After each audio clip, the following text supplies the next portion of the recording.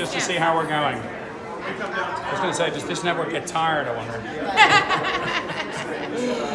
we're caning it so hard. So you see, the dial only goes to 300. We're already over 500. Oh wow. and I think there's a good chance we might get a little higher. We've been seeing on average 650, that sort of speed uh, most of the time.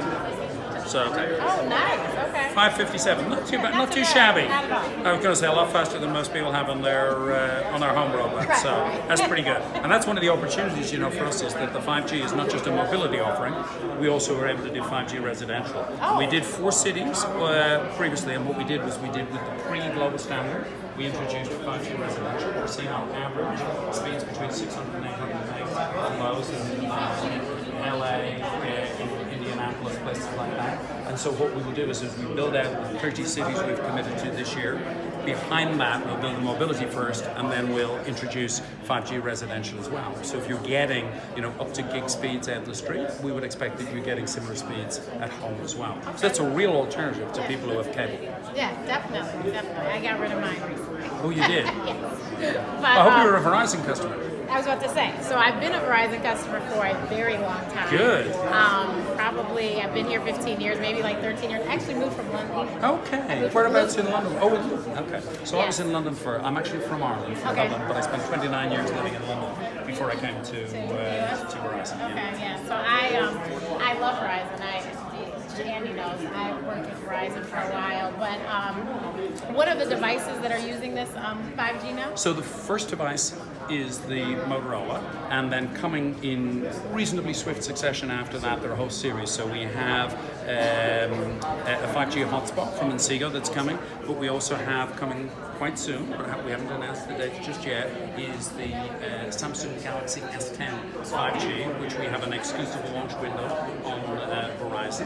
Then we have uh, the LG V50 that's coming as well, and then later in the year there will be more devices. We would expect probably by the end of the year there will be eight or nine high-end uh, handsets and a number of um, hotspots, as well as the next generation of the CPE, uh, the routers for the 5G Yeah. residential service. Okay, that's wonderful.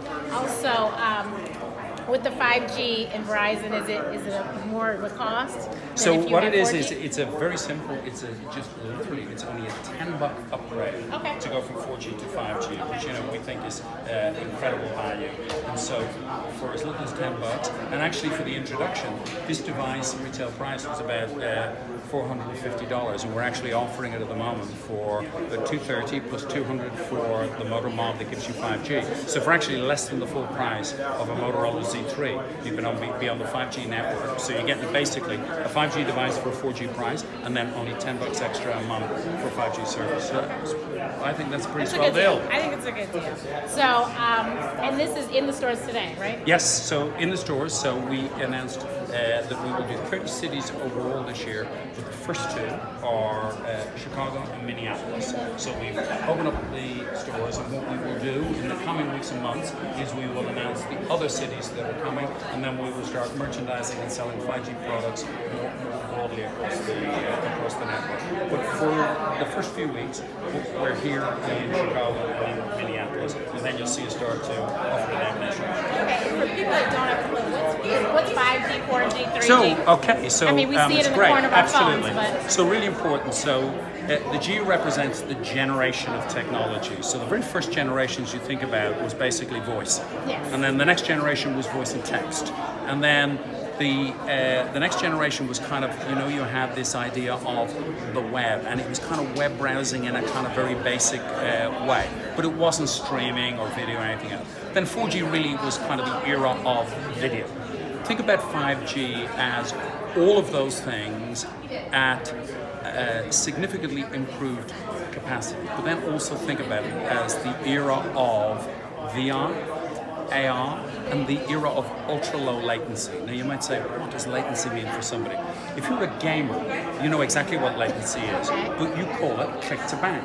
Because you know what? You know that you want to get your retaliation in first. So if you're an online gamer, the speed of your response is the most important thing. Okay. Well, latency in the network is the thing that gives you the fastest possible response. Another way of looking at it is if you're trading as a as a trader in Wall Street. Yep. So you're trading, you want to get your trade in beforehand. Right, exactly. You know what? on the Verizon 5G network with ultra low latency. You can trade from the comfort of your own home like a 5G Wall Street trader. How about that? So you can be the 5G home trader going head to head with a 5G Wall Street trader. Okay. That's really, really exciting. AR, VR, bringing all of that information to people in a way that makes it seamless and easy. And also things like taking some of the complexity out of the devices, because we can bring that to the edge of the network, do all the computing and all the clever stuff there, make the devices simpler, easier, lower cost and more accessible. So it's the next generation of opportunities. Gotcha. Thank you All righty, pleasure. Lovely to meet you.